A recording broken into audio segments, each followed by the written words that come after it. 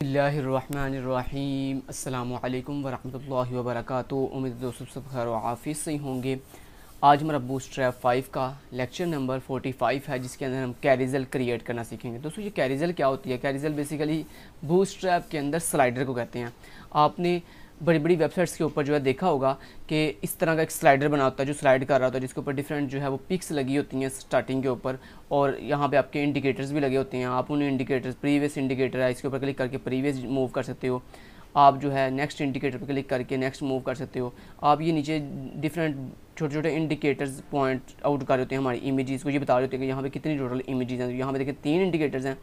तो ये तीन इसका मतलब इमेजेस यहाँ पे लगी हुई हैं। तो आप किसी भी इंडिकेटर के ऊपर क्लिक करते हो तो वो आपको उस इमेज पे मूव कर देता है। उसके बाद दोस्तों ये आप इसके, इसे हम कहते हैं कैरिजल आइटम ये जो आपको इमेज नज़र आ रही है, उसके अंदर ये जो आपको नीचे टेक्स्ट नज़र आ रहा है, इसको हम कहते हैं कैरिजल कैप्शन और ये जो आपको नीचे स्ट्रेट स्क्वेयर टाइप के एक बटन नज़र आ रहे हैं, इसको हम कहते हैं इंडिकेटर्स और ये जो आपको नज़र आ रहे हैं प्रीवियस एंड नेक्स्ट आइकन्स इसको हम कहते हैं वो आइकन्स प्री कंट्रोल्स आइकन्स ठीक है? तो इनको अब कंप्लीट हम सीखेंगे। आज ये ब्यूटीफुल सी कैरिजल क्रिएट करेंगे और देखते हैं स्टेप बाय स्टेप इसको कैसे क्रिएट करेंगे। तो उसके लिए मैं सबसे पहले अपने पेज को रिफ्रेश करता हूँ और ये देखिए कैरिजल खत्म हो चुका है। अब सबसे पहले दोस्तों आपने क्या करना है? आपने जो कैरिजल के अंदर इमेजेस लगानी है, वो इमेजेस आपकी सेम इसी लोकेशन पे पड़ी हो, जिस लोकेशन पे आपकी ये कोडिंग है। जैसे देखिए मैं अगर आपको दिखाऊँ तो मेरे डेस्कटॉप के ऊपर फोल्डर है, जिसके अंदर मेरा मेरा ये HTML का कोड है। यानी ये जो आपको HTML की फ़ाइल नज़र आ रही है, ये HTML की फ़ाइल बेसिकली मेरे इस वर्क नाम के फोल्डर के अंदर पड़ी हुई है, ये पड़ी हुई है, ठीक है? एच टी एम लेक्चर्स के नाम से। और यहाँ पे देखो, मेरे पास वो जो इमेजेस मैंने ऐड करनी है, वो इमेजेस भी सेम इसी लोकेशन में पड़ी हुई हैं, जिस लोकेशन में मेरे पास ये HTML का कोड है। सिंपली अब मैं क्या करूँगा? मैं यहाँ पे आऊँगा और सबसे पहले आपने क्या करना है, सबसे पहले आपने एक डिव क्रिएट कर लेनी है। कैरिजल बनाने के लिए। अब स्टेप बाय स्टेप सिखाऊँगा कि कैरिजल किस तरह से आपने क्रिएट करनी है। तो सबसे पहले हमने एक डिव ले लेते हैं और इस डिव को दोस्तों आपने क्लास दे देनी है कैरिजल के नाम से। कैरिजल ठीक है कैरिजल ये क्लास देनी है। तो इससे आपको कैरिजल क्रिएट हो जाएगी और उसके बाद अगर आप चाहते हो कि आपकी जो कैरिजल है वो ऑटोमेटिकली रोटेट करे मतलब पहली इमेज फिर उसके बाद दूसरी इमेज फिर तीसरी इमेज ऑटोमेटिकली मतलब मूवमेंट करे तो उसके लिए आप यहाँ पे कैरिजल के साथ एक सेकंड क्लास यूज़ करते हो स्लाइड के नाम से। स्लाइड ठीक है? अगर आप चाहते हो कि आपकी जो कैरिजल है वो ऑटोमेटिकली स्लाइड ना करे तो आप ये स्लाइड ग्लास यूज़ नहीं करोगे। लेकिन अगर आप चाहते हो कि वो ऑटोमेटिकली स्लाइड करे तो उसके लिए आप ये स्लाइड ग्लास यूज़ करोगे। उसके बाद आप इस के अंदर आप एक एट्रीब्यूट ऐड करोगे data hyphen B S hyphen right ठीक है? इक्वल टू और उसमें आप लिखोगे कैरिजल उसमें आप क्या लिखोगे? कैरिजल ठीक है? क्या मतलब है इसका? यानी आप कह रहे हो कि जो मेरा डाटा है, उसको राइट वो डाटा कौन सा राइट करना हमने? कैरिजल वाला। मतलब हमने कैरिजल की इमेज जो है वो राइट करनी तो बेसिकली दोस्तों, ये जो हमारा एट्रीब्यूट है राइट वाला, ये हम कैरिजल में इसलिए यूज़ करते हैं ताकि हम अपनी कैरिजल को चला सकें रन कर सकें। जैसे आपको पता ना, हम बाइक चलाते हैं तो हम क्या कहते हैं, हम राइड कर रहे हैं बाइक को। तो ऐसे यहाँ पर आप कह रहे हो कि मैंने अपना जो कैरिजल है वो राइड कर रहा हूँ, चला रहा हूँ, ये चला रही हूँ। ओके तो ये एट्रीब्यूट लिखना ज़रूरी है। उसके बाद दोस्तों अपने अपनी ये जो पूरी आप कैरिजल बनाने जा रहे हो, इसको आप एक स्पेसिफिक आईडी दोगे यूनिक तो इसको मैं एक आईडी दे देता हूँ डेमो के नाम से। तो मैंने इसको एक आईडी दे दी डेमो ठीक है? अब आपने क्या करना है? अपने इस कैरिजल के अंदर आना है और अब आपने वो जो तीन इमेजेस ऐड की हुई थी, या जितनी भी आपने इमेजेस ऐड करनी है, उसके लिए आप यहाँ पे एक बनाओगे डिव और इस डिव को आप क्लास दोगे कैरिजल इनर के नाम से। कैरुजल कैरिजल इनर ठीक है? बना ली? अब ये जो आपने कैरिजल इनर के नाम से आपने ये डिव बनाई है, अपने इस डिव के अंदर आप उतने कैरिजल आइटम बनाओगे जितनी आपने नंबर ऑफ़ इमेजेस जो है वो ऐड करनी है। मैंने तीन इमेजेस ऐड करनी है बस।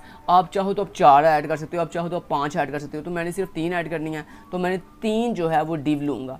दोस्तों, जितनी आपने इमेजेस लगानी है, आप उतनी जो है वो डिव्स यहाँ पे लोगे और उन डिव्स को आप कौन सी क्लास दोगे? कैरिजल आइटम के नाम से। कैरिजल कैरिजल आइटम ठीक है? तो बेसिकली आपकी ये जो कैरिजल आइटम वाली ये जो डिव है, ये बेसिकली आपकी एक कंप्लीट इमेज को रिप्रेजेंट कर रही है। अब आपने जितनी इमेजेस लगानी है, उतनी दफ़ा आप इस कैरिजल आइटम को डुप्लीकेट करते रहो। तो यहाँ पे देखो मैंने, ये पहली मेरी कैरिजल आइटम है, इसके नीचे मैंने यहाँ पे दूसरी कैरिजल आइटम ले ली और यहाँ पे तीसरी कैरिजल आइटम ले ली। ठीक है तो बेसिकली मैंने तीन इमेजेस लगानी थी तो मैंने तीन कैरिजल आइटम्स ले ली हैं। ओके जी? उसके बाद अब आपने क्या करना है इन तीनों कैजुअल आइटम के अंदर आपने इमेज ऐड करनी तो इमेज ऐड करने के लिए आप I M I M G tag लोगे और उस आई एम जी टैग के अंदर सोर्स के अंदर आप अपनी इमेज का नाम बताओगे। तो मेरी इमेज चूँकि से, सेम इसी लोकेशन में पड़ी हुई है तो मैं अपनी इमेज का नाम बताऊँगा। मेरी इमेज का नाम है four dot J P G तो फोर मेरी इमेज का नाम है डॉट जे पी जी उसकी एक्सटेंशन है। उसके बाद दोस्तों अपने इस इमेज को कंप्लीट जो विर्थ है वो देने के लिए हम यहाँ पे बूस्ट्रैप की क्लास यूज़ करेंगे डी हाइफन ब्लॉक तो आपको पता है डी मीन डिस्प्ले और ब्लॉक मीन ब्लॉक जब आप किसी भी चीज़ को डिस्प्ले ब्लॉक करते हो तो बेसिकली जितनी आपकी डिवाइस की विर्थ होती है कंप्लीट विर्थ ले लेती है। तो बेसिकली मेरी ये इमेज जो है, वो कंप्लीट विर्थ ले लेगी क्योंकि आपने इसको डिस्प्ले ब्लॉक कर दिया। उसके बाद आप यहाँ पे इसको inline C S C S apply करने के लिए आप यहाँ पे ये भी बताओगे कि जो मेरी इमेज है, उसको जो विर्थ है, वो जो विर्थ है, वो कितनी कर दो? हंड्रेड परसेंट मतलब आपने पहले कहा कि जितनी वाइस की विर्थ है, उतनी विर्थ जो है ना, उस वो सारी जगह इसको दे दो। डिस्प्ले ब्लॉक करने से क्या होता है कि आपकी डिवाइस की जितनी विर्थ होती है, वो सारी सारी विर्थ आपकी इस इमेज को मिल जाएगी। लेकिन ये इमेज जो है, वो अपनी विर्थ एक्सटेंड नहीं करेगी। सिर्फ़ इसको जगह मिली है अभी। डिस्प्ले ब्लॉक करने से सिर्फ़ इसको वो सारे सारा एरिया मिल चुका है। उसके बाद हमने क्या कहा? हमने कहा, अब जब एरिया सारा मिल चुका है तो मैंने कहा, अब विर्थ उसकी कितनी कर दो? हंड्रेड परसेंट कर दो। और इतना करने के बाद देन मैंने कहा, उसकी जो हाइट है मेरी इमेज की, वो कितनी कर दो?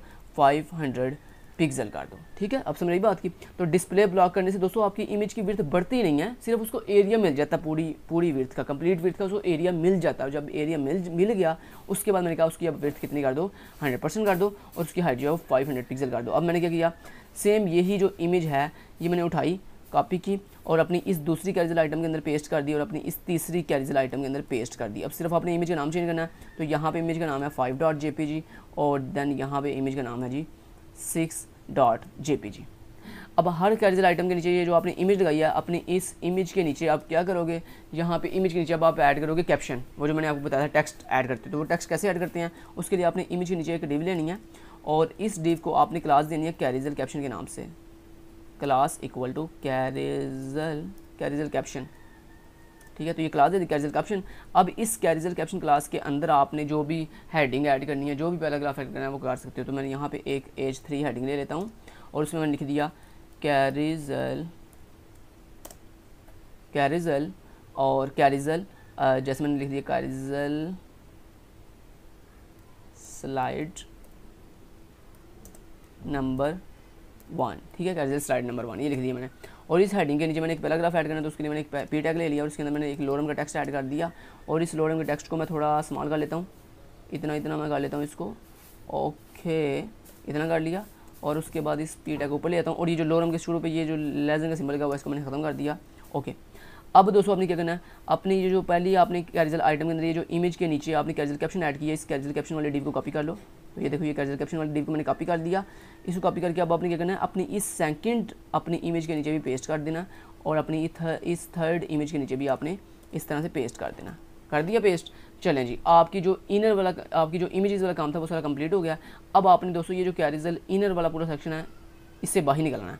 तो कैरिजल इनर वाला सेक्शन कहाँ पे ख़त्म हो रहा है? यहाँ पे ख़त्म हो रहा है। मतलब यहाँ पे, ये जो आपकी लास्ट वाली डिव है, ये बेसिकली कौन कौन सी डिव है? आपकी ये जो मेन कैरिजल है, इसकी डिव है। तो आपने इस मेन कैरिजल वाली डिव के अंदर आना है। तो बेसिकली ये आपका कौन सा, मैं यहाँ पे कमेंट भी कर देता हूँ। ये आपका पार्ट था जनाब कैरिजल इमेजेस वाला। तो इसको मैं से सिलेक्ट करता हूँ। कंट्रोल के साथ मैं क्वेश्चन मार्क दबाऊँगा तो ये कमेंट हो जाएगा।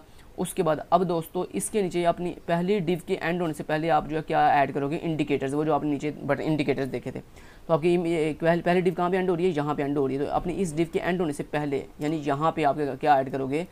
क्या रिज़ल्ट मैं कमेंट कमेंट करके आपको बता देता हूँ। यहाँ पे आप क्या रिज़ल्ट इंडिकेटर्स इंडिकेटर्स ऐड करोगे।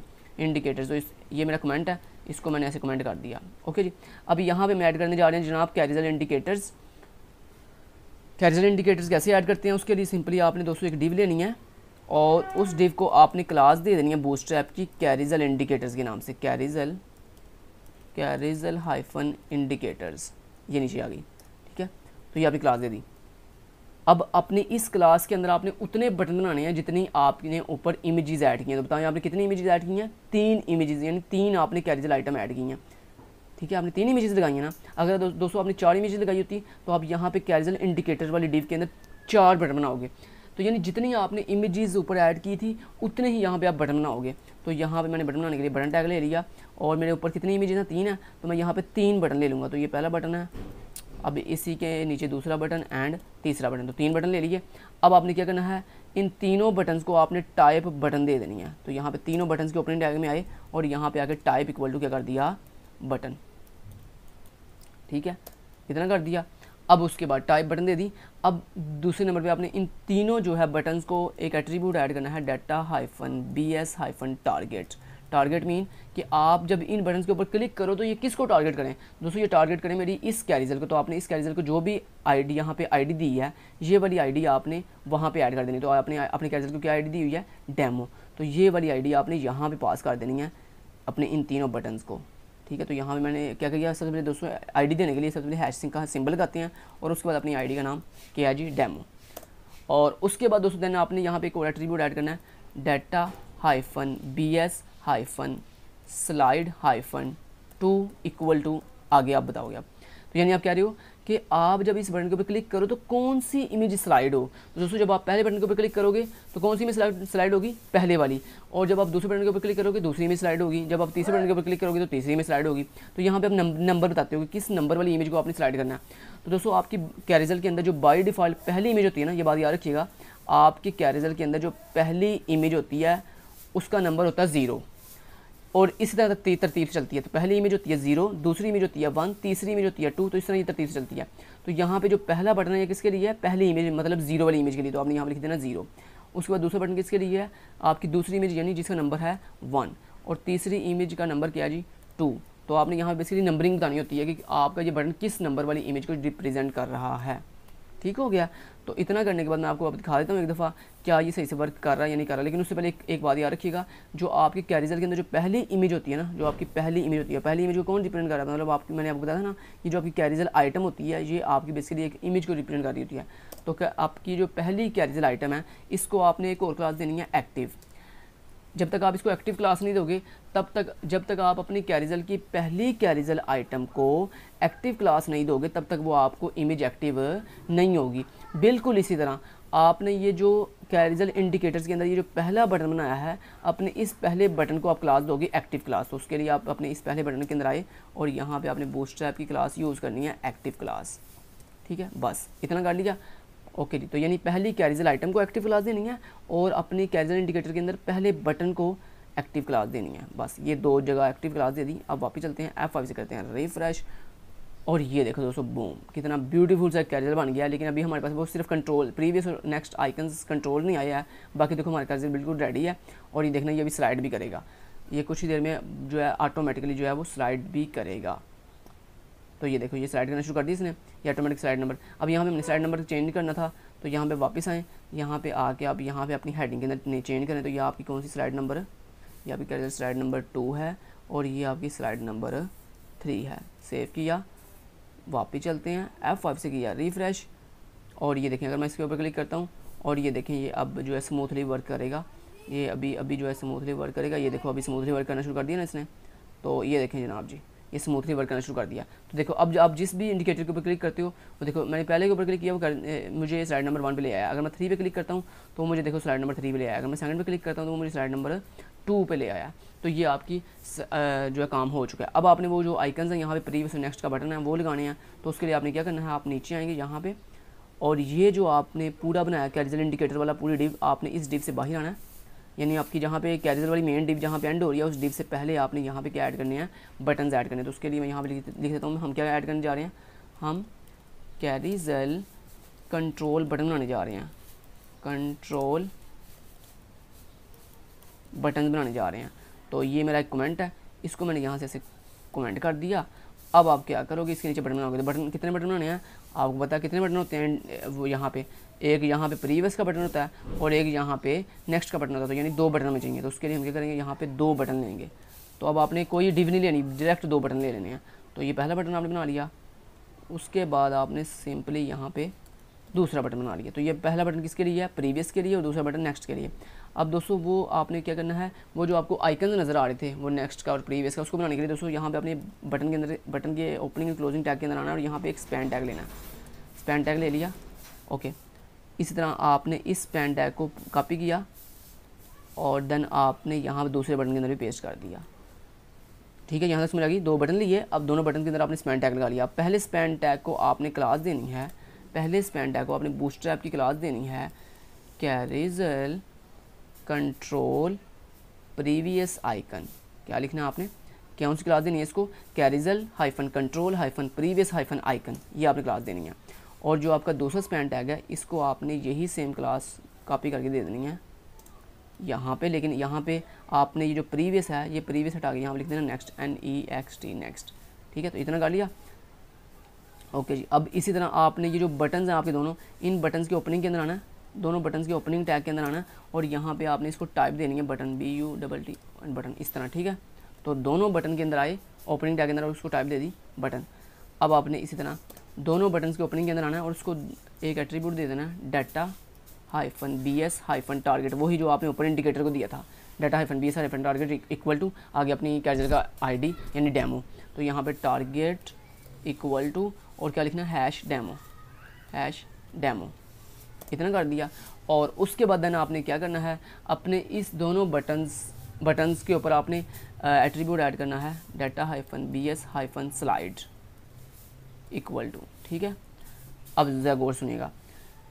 डाटा टारगेट का मतलब क्या होता है? कि मैंने जो मेरी कैरिजल है, उसकी आईडी मैंने पास की मतलब मुझे इस कैरिजल को टारगेट करना है। उसके बाद data hyphen B S hyphen slide के अंदर दोस्तों, आप क्या करोगे? ये जो अगर आपका प्रीवियस वाला आइकन है, इसके अंदर आप लिखोगे prev P R E V prev और जो आपका नेक्स्ट वाला है, इसके अंदर आप लिखोगे यहाँ पे नेक्स्ट ठीक है तो data B S slide equal to मतलब आप कह रहे हो जब मैं इस बट पहले बटन के ऊपर क्लिक करूँ तो कौन सी स्लाइड स्लाइड हो? प्रीवियस वाली। और जब मैं इस नेक्स्ट वाले बटन के ऊपर क्लिक करूँ तो कौन सी स्लाइड स्लाइड हो? नेक्स्ट वाली। इतना कर लिया?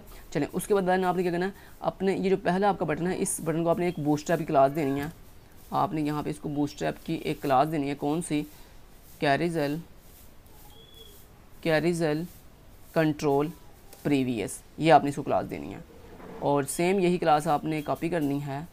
और अपने इस दूसरे जो बटन है, ये जानी ये जो दूसरा आपका आइकन है नेक्स्ट वाला, इसके अंदर आना है और इसको भी ये क्लास पेस्ट कर देनी है और सिर्फ़ क्या करना है, यहाँ पे प्रीवियस जगह पे नेक्स्ट लिख देना N E X T next ठीक है जी? इतना कर लिया तो ले लीजिए आपके दोनों बटन भी रेडी हैं। अब वापस चलते हैं एफ़ फाइव से करते हैं रिफ्रेश और ये देखें, आपके ब्यूटीफुल से जो है वो इंडिकेटर्स भी, वो सॉरी आइकन्स भी आ चुके हैं। ये प्रीवियस का ये देखो, इसके ऊपर क्लिक करता हूँ तो प्रीवियस इमेज भी जाता है। क्लिक करता हूँ प्रीवियस इमेज भी जा रहा है और ये देखो और अगर मैं नेक्स्ट वाले बटन के ऊपर क्लिक करता हूँ नेक्स्ट वाली इमेज भी जा रहा है, अगर मैं इंडिकेटर्स पे क्लिक करता हूँ इंडिकेटर्स सही से वर्क कर रहे हैं, ये देखें जनाब प्रॉपरली हमारा जो स्लाइडर है, वो बहुत ही ब्यूटीफुल एनिमेशन के साथ जो है वर्क कर रहा है, ये देखें प्रॉपरली और इनफाइट है, ये देखें, ये चल चल इनफाइट चल रहा है, कोई मतलब स्टे नहीं कर रहा। और अगर आप इसको छोड़ दो ऐसे तो ये देखना अभी अभी ऑटोमेटिकली ये मूव करेगा। आप वेट करो, अभी देखना ऑटोमेटिक वो देखो ऑटोमेटिकली अब मैं देखो, मेरा माउस पीछे हो गया। मैं कुछ को, कोई भी जो है क्लिक नहीं कर रहा लेकिन देखो वो ऑटोमेटिकली जो है स्लाइड कर रहा है। क्यों? क्योंकि मैंने वहाँ पे कैरिजल को कौन सी क्लास दी हुई थी? स्लाइड क्लास दी हुई थी। उम्मीद करता हूँ दोस्तों आपको कैरिजल बनाने की सारी समझ आई होगी। Thank you so much till then guys take care अल्लाह हाफिज़।